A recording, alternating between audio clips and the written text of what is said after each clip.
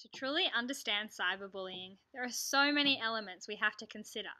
So, to explore this further, I've created a resource to use with children called Cyberbullying Scenario Cards. Now, this resource is just an oversized deck of cards, with each card containing a scenario based on the topic of cyberbullying.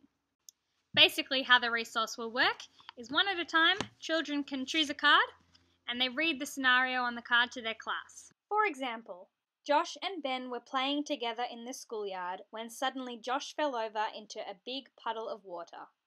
His pants were covered in water and it looked like he had wet himself. Ben thought it was hilarious and even took a picture of Josh. Later that night, Ben uploaded the picture to Facebook and posted it for everyone to see without Josh's permission. All their classmates saw the picture and posted teasing comments about how Josh had wet his pants. Now, on the back of this scenario is five questions that the child can then read out to the class, and together they will discuss the possible answers. 1. Who is the target and who is the bully in this situation? Now, this question allows children to consider the different roles within a cyberbullying situation. 2. Why do you think Ben uploaded the picture to Facebook? Now, this allows children to consider the reasons behind Ben's actions. 3.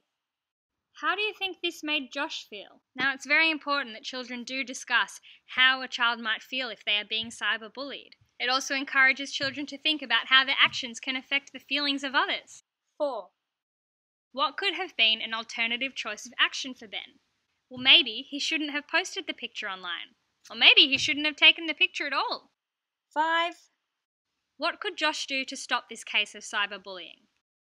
Could he talk to a teacher or a parent or maybe just unplug from technology for a while. This is an essential way to finish off each scenario so that children can discuss ways to deal with cyberbullying.